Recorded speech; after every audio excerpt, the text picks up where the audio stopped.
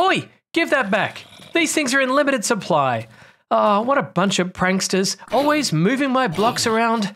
I, oh, I suppose you're responsible for that glass block too. Mm. Oh. Mm. Oh. Oh. Oh. Mm. Oh. Oh. Oh.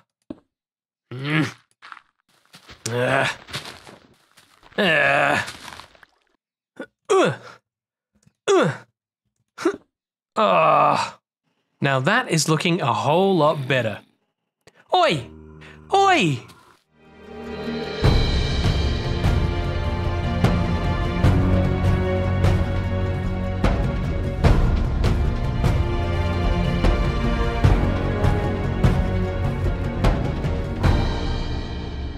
Hello, everybody, and welcome back to Minecraft The Journey with me, Bugman CX. This is the Let's Play series where we upgrade a survival world of Minecraft through all of the versions, exploring the game's history and development all along the way. We're currently in beta 1.8.1, and we've pretty much finished with this whole beta 1.8 era of the game, and we're ready to move on to beta 1.9, edging our way closer and closer to Minecraft's release era. So close, I can almost taste it. But before we do that, let's take a look back at the adventure update and see how we got here. In 2011, the adventure update was Minecraft's biggest release to date. It was first announced on June the 10th, 2011 by Notch, and was originally planned to come out as Beta 1.7, but it was just too big and taking so long that Beta 1.7 was released with just pistons to keep the players happy. And the adventure update was then split into two parts, to be known as Beta 1.8 and Beta 1.9. We've already explored the first part, which is Beta 1.8, and in Beta 1.8 we got loads of new features, but not all of them were finished. We got features like strongholds, but they're just basic structures right now, with one big change to them coming up pretty soon. We got villages, but again, right now they're just ghost towns. We got all new biome generation, which completely changed the world around us, giving us new biomes and giant oceans. We got new mobs like the Enderman, mine shafts and cave spiders, and a new food and hunger system. And plenty more to follow in the next series of versions, the Beta 1.9 pre releases. But if these are Beta 1.9 pre releases, then why do so many people consider these versions part of the Minecraft release era? Well, it all comes down to planning, or rather, lack of planning. You see, pre releases or release candidates are supposed to come out before the main release. We had a series of pre releases for Beta 1.8 before that came out, so you'd think that after the Beta 1.9 pre releases, we'd see a full release of Beta 1.9. But there is no full version of Beta 1.9. Beta 1.9 was planned to be released once the adventure update was considered complete, at some point in October. But with Minecon 2011 right around the corner in November, it was ultimately decided that the end of development for the adventure update would become release version 1.0, and that was announced for release at Minecon. So, no need for beta 1.9 after all. So technically this means that the series of pre-releases we're about to explore are technically just pre-releases for Minecraft 1.0. But we're getting way ahead of ourselves here. We haven't even got to beta 1.9 yet. So why not do that? Let's move up to beta 1.9 pre-release. Wow, look at this, I can't believe it. Minecraft Beta 1.9 pre-release. I cannot believe we've come this far. So, does everything look the same or does everything look different? Hey, oh, uh, oh, oh, we've got the drippy drippies. I hadn't even noticed that we didn't have that in these versions. I guess that was a new addition to this version. I, I'm sure we'll find that everywhere now. But yes, Minecraft Beta 1.9 pre-release, unbelievable. And I think that it's going to start getting quite different from this point forward because the Beta 1.9 pre-releases are going to add a lot of new functionality into the game and change things a lot. But hey, that's all part of the journey, right? One other thing is that I don't want to rush through these Beta 1.9 pre releases too fast. It's quite a complex era of the game, and I want to make sure I get it right. Whoa, hi! Uh, yeah, alright, um, goodbye. Um, yes, where was I? Right, not upgrading too quickly, because there are a lot of interesting quirks and bugs to explore, as well as some features that are still half implemented. So it's going to be very interesting to try and explore all of those in depth through the pre releases, but I still need to make sure that I don't miss out on anything important, because once we've upgraded, I don't really want to go back, so we'll have to plan carefully.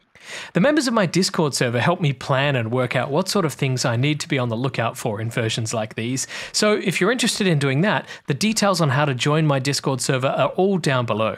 And while I'm here, I might as well plug some other stuff, right? Like if you're interested in supporting me directly, you can follow the links to Patreon below, or alternatively, just click the super thanks down below this video. But otherwise, by just subscribing, liking, and commenting, all of that stuff helps my channel grow. Now, back to Beta 1.9. Well, this is the adventure update, so let's go adventuring. We can explore some of the new biome changes out there in the new terrain, but because the biomes have been updated again, we're going to encounter even more chunk borders out there as soon as we cross into newly generated chunks. Well, this is the adventure update part two, so why don't we go out adventuring? We can expect to see some changes out there in the wide new world because the biomes are now all different. Oh, look at these delicious pork chops. I'm going to take all of them with me. In Beta 1.8, the snowy and ice styles of biomes were removed from the game. I'm really not sure why, but it's meant that we haven't had access to any snowy or icy biomes since we upgraded. Luckily, we still had the previously generated ones if we needed them, but if you started out a new world in Beta 1.8, it would have been impossible to get access to snow or ice. In Beta 1.9, the tundra returned and it's now known as the Ice Plains, and a new frozen ocean biome has been added. There's also a brand new biome, which is going to be completely different to anything we've seen before, but they're pretty rare and it might be difficult to find one. But we're going to encounter our very first change right here on our own doorstep, the swamps have been updated and they look ugly. Let's go take a closer look. Oh, yuck. So, what exactly is going on here? Well, the tinting of this biome has changed, and that affects the grass, the leaves, and even the water. Look at that, it's kind of a darker color with some weird green bits in it. And it's not even that obvious once you're inside of the swamp. But let's just head back towards the base here and you'll start to really see the difference. Here you can start to see the transition between this browny green color to a grey green color. And then as we head up this way, we get to this block here and the transition is just instant. It goes instantly from this color to this color and I guess that's because once you move off of this block and onto this block, this is where you've actively switched biomes. But this is a pretty rough transition, wouldn't you say? Um, doesn't blend very well at all. In fact, oh, just head over here and have a look at this. You can see here, this just looks like a big grey brown mud patch or something like that. And here as well, you can see it in the water as well. Absolutely no blending. So it just looks really, really weird. Now I want to do a couple of experiments and it looks like we have the perfect spot right here because we are just on the edge of the biome transition right here. So if I plant a tree right here and then bone meal it, I should get one quarter irregular leaves and then three quarters really, really dark leaves. Wow, they look almost black to me. They look like a charcoal very, very dark grey colour. I'm really quite surprised by the choice of tinting in this biome. Now the other thing we can do of course is use our shears because if we use shears we can take off leaves from the tree like this and if I do pick these up uh, and pop them down we'll see that I have the normal green tinting here but I'm pretty sure if I place this one down yeah we get that horrible brown grey tinting. And if I break the leaves off of the tree here, you'll see that they drop with their default green colour. There's no way to obtain an already tinted leaf. It's just a tinting effect that affects the blocks that are already placed in the world. I've set up a little bit of a grassy, leafy gradient here, and you can see a few different transitions. We have this browny grey leaf color right here, and you can also see the grass follows this transition as well. Right here, there's a change in the grass block between this and this color, and the same here with the leaves, I believe, although it's a little bit harder to see. And then further down here as well, we have another change to this brighter green color, which is the main color of the center of the swamp. So it looks like as you reach the edge of the swamp, biome border, it starts to transition from green into a grey brown colour and then get darker and darker to the edge where it just abruptly changes into this color here. And you would have thought that it might have been something like the other way around. It sort of seems like they've got this backwards, but this is how it is for now, and it's going to stay this way until it gets changed in the future. I happened to notice something else too while I was doing that. Previously, you used to have to place a log in the ground or somewhere nearby if you wanted to create some bushes like this, because the leaves need a log block nearby to connect to because basically they think they're part of a tree and they won't decay. If you placed a leaf block randomly somewhere like this, over time, it used to decay, and I didn't realize that this was a change that was actually implemented in Beta 1.8. So now, if you place down leaf blocks, if they're placed down by either the player or an Enderman, they'll no longer decay, and that's really useful because I have a lot of good ideas for using these things in the builds, and I've been waiting for this change.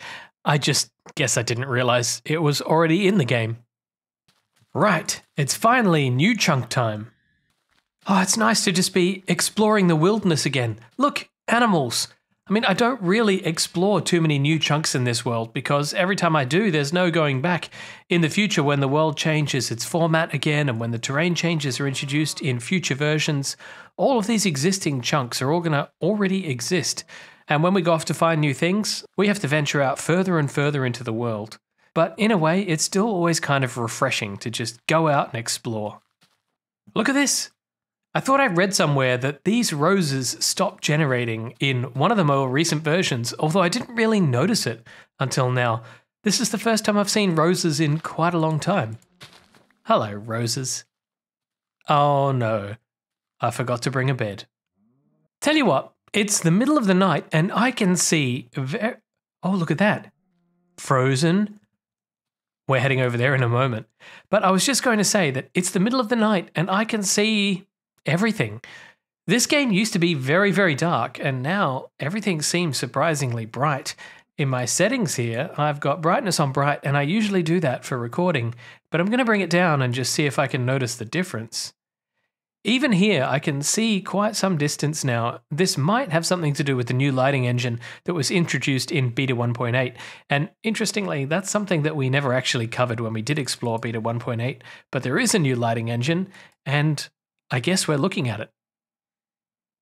Oh, you know what? I spent the whole night in this tree because I couldn't find any sheep. And look at them down there. What cozy beds you could have made. Oh well. Let's head into the ocean and over to this new biome.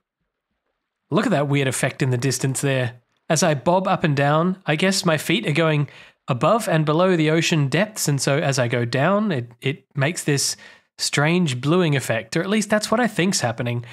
Oh, Minecraft, you got some bugs, but look at this. We have a frozen section of the ocean here. Now, my understanding is that the frozen ocean includes these areas here, which are right next to the landmass, but it is possible to find these things out in the middle of the ocean as well. But for me, this is good enough. It's basically an ocean covered by a big sheet of ice. And this is not too dissimilar from what we've seen before around the, the tundra area in the past. But as I said, this can form out in the middle of the ocean as well. So it makes it unique and different, especially because in Beta 1.8, the oceans were added in as their own distinct biome, unlike beforehand, where they were just part of the world generation. So the frozen ocean is effectively just a layer of ice above the water beneath us, not very much more to it. But I'm keen to get on the shore here and see if anything at all looks different. We've got some snow again, and I presume I can just use my shovel to get up the snowballs. Oh, we have access to snowballs again. Oh, renewable snowballs at least, because I presume it's going to snow in this biome. We'll have to wait for the weather to kick in and find out, I suppose. This is pretty big, actually, isn't it? So this is now the snowy plains, formerly known as the tundra. Haha, gotcha. Well, so far there isn't very much here. There's just a few trees and some snow. Not very exciting at all. So what else do we do in the snow? Make snow angels? I don't know. We could build an igloo, I suppose. Oh, look, pumpkins. I've got an idea. Thank you. Now, when I was a kid growing up, I grew up in Australia and we don't have very much snow there, so I only ever remember going to the snow as a kid once. But when we were there, we did what every other kid did, and we built a snowman. So let's make one right here in the snow as well. Uh, what? what? Hello? You're you're alive? You're alive! Are you are you friendly? I guess you're friendly. I don't know what to make of this. This is unbelievable. I didn't expect to be able to create life out of inanimate objects. I must have powers beyond my wildest dreams. You know, let's see if we can do it again. Now, what was it? Just two snow blocks and then one pumpkin. wow, two of them. We did it. We can create life. I'm going to gather up some snowballs and get back to base so that we can do some experiments on these new mobs and understand what they're all about. But how did we end up with the living snowman in the game? Well, a bit like the Enderman, Notch added this mob to the game because he needed a distraction from something else. Just one day before Beta 1.9 pre release became publicly available, Notch said, Got frustrated with AWS, so I made a new mob. Attached to his post is a picture which says New Mob, Snowman, but this snowman is shown without a pumpkin for a head, and perhaps this is because Notch's original concept for the snowman would be that it's completely made of snow. Another interesting thing about this picture is that it's taken during development, and the version number in the top left reads Beta 1.9. Notch followed up his tweet about the snowman by saying, It'll be craftable, is friendly, and throws snowballs at enemies. Also melts in hot biomes. But the name of Snowman didn't last very long. On Reddit, Cuttleman suggested that they should be called Snow Golems, and Notch agreed. Awesome. The new official name is Snow Golem. So now I think I understand why the Snow Golem keeps its pumpkin head. A golem is basically a creature made from inanimate objects that's been brought to life through magical spells. And since you create this golem by placing two snow blocks and a pumpkin, it makes more sense that it would retain its original form. It wouldn't make much sense if the pumpkin just disappeared. But I kinda like the original derpy snowman look, and I think the pumpkin kinda makes them look, well, a bit more aggressive and a lot less cute. But oh well, it is what it is. Back home again, just around the back from the base, which is over there behind the hairy mountain, and I've taken back some snow blocks and as many pumpkins as I could find and set up this little pen here, and I'm going to do some experiments on our new friend, the snowman. Look, complete with a fence gate, and by the way, just look at that thing. Doesn't it look strange? The original fence gate looks pretty weird to me. Well, I think we're pretty much ready to go, so I'm going to create our first snow golem to experiment on. And I was hoping it wouldn't melt. I, I, didn't think that this biome would be too hot for it, but look at that. It's wandering around and creating snow already because this is one of the properties of the snow golem, and that is that as it moves around onto non snow blocks, it'll generate snow, and that means we can convert this into a snow farm eventually, which is going to be very useful whenever we need to get ourselves snowballs. I did also notice though that it doesn't really work on these grasses, so I'm going to get rid of these and just let the thing wander around. I should close the gate as well just to make sure it can't escape. And now I'm really curious because Notch said that this is a passive mob, kind of a utility mob because it will defend itself against hostile mobs. So right now I'm not hostile, but I wonder what happens if I provoke it. Will it start throwing snowballs at me? Let's just give it a little love tap. Nope, no, it seems to be running around frantically like most passive mobs do whenever you, you punch them. So I guess that concludes it. This is technically a passive mob. The sun's now setting, so I'm curious to see what happens when we get some host. Whoa, hello.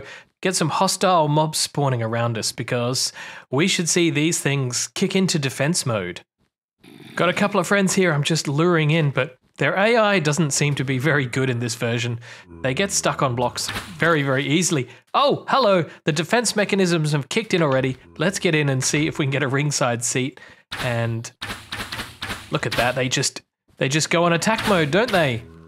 And these zombies, they have no chance. But the issue is, let's get out here. The issue is that snowballs don't do any damage, so while these three clowns up here are capable of pushing the zombies back, the zombies just won't take any damage and they'll just keep coming and coming. Come on, you idiots. well, we seem to have one escapee, and I don't know how that happened, but yeah, yeah, these things could definitely be used as some sort of turret to keep your, your base. Oh, oh, it's killed it. Oh. So what did we learn from that? Well, I think if we're going to use these things as turrets to keep some mobs away from the base, then they have to be well protected. Now, this has me wondering is it possible to create a snow golem using a piston, or does the golem creation have to be purely player based? Let's see, excuse me, let's see what we can do with this lever. No. Unfortunately, we can't do that because it just pops the pumpkin off. I should have thought of that because that's how you harvest pumpkins. But my understanding is that it is possible for Endermen to create snowmen if you set up the right conditions.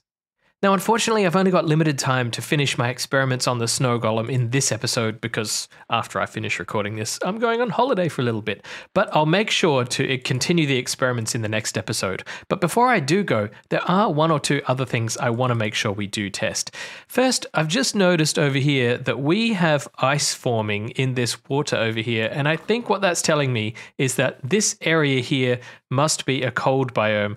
That's a little bit worrying because it's right behind the base, and that means that at any time it snows, we could potentially be being covered in snow. We'll have to wait and see what happens with that. And I'm hoping that this is still a desert and not now a cold biome because I need to experiment with what happens to a snowman if you put it in a hot biome. And this is a hot biome. So let's just see what happens here. And I think we'll find out pretty quickly oh, okay, okay, you live, but at the moment you're not placing down any snow underneath you, which is a really weird thing to see. I don't think I've ever seen a snow golem wander around and not place snow beneath it. Huh. Snow golems can swim. Anyway, I've double checked the world seed just to make sure that this area here is in fact a desert, and it is. So this behavior of the snow golem not leaving a snow trail underneath it and not melting in a hot biome is normal, for this version at least. So this is something else to keep an eye on. Considering how that last experiment went, I'm honestly not even sure. Uh oh. I'm honestly not even sure how this one's going to go, but I want to see what happens if we create snow golems in the nether. Will they melt? Will they stay? I don't know, but first I've got to get rid of these things. Ah. All right, it looks all clear. Okay, let's see what happens. I'm very, very curious. You live! Oh, oh no!